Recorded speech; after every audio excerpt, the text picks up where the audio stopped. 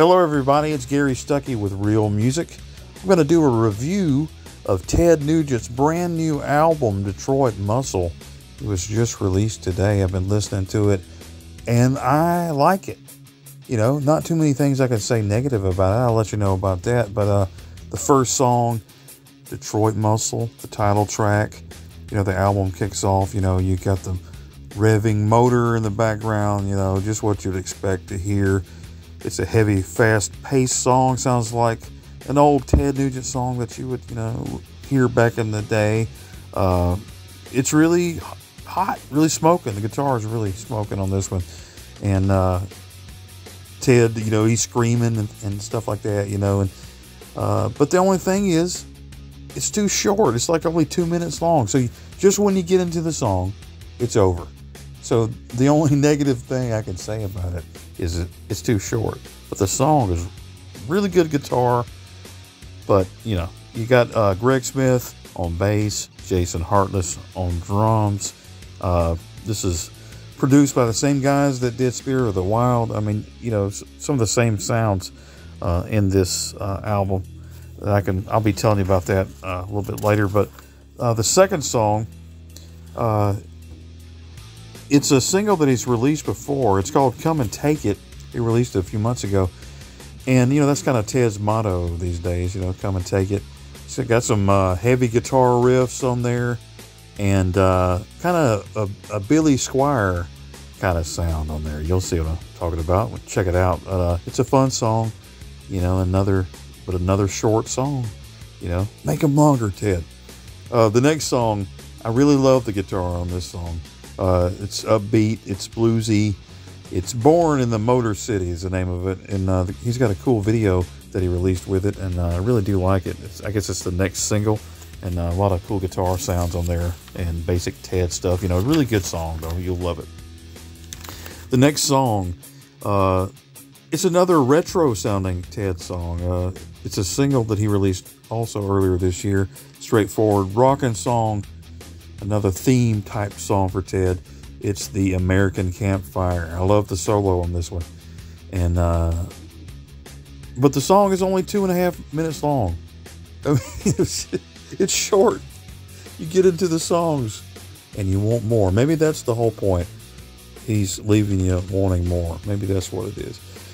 Okay, well, the next song, probably my, well, you know, one of my favorites. I'd say this is probably my second favorite, but it's a really good song. It's called Driving Blind. It's bluesy. Starts off with like a ZZ Top kind of thing going on, and uh, you know, and it's over four minutes long. So you gotta say, hey, this is a great song for this album. Uh, but it's one of my favorites, and I think you'll really enjoy this one. The next song, Just Leave Me Alone, a straightforward rocker, reminds me of Spirit of the Wild album, and uh, I love the solo, the lyrics sum up, you know, how Ted feels about people that really get on his nerves, you know, these days. Just leave me alone, he says. It's a short song too, but it's really good. It's a really good song. The next song, Leave the Lights On. Now, I really like this one. It's a mellow song. It's got cool guitar riffs. It, you know, in in a weird way, it kind of reminds me of like Van Halen from OU812 for some reason, but it's got a cool sound. But the guitar solo is pure Ted, and this, this, yeah, the sound is just awesome on this. I just really love this song. This is probably my favorite song on the album right now. I mean, i will probably listen to it again. Maybe it'll change, but uh, let me know. This this is probably yeah, this is probably my favorite song. Leave the lights on. I really like it. The next song, Feedback Grindfire, and it's got a lot of feedback on this one and it is definitely a rocker.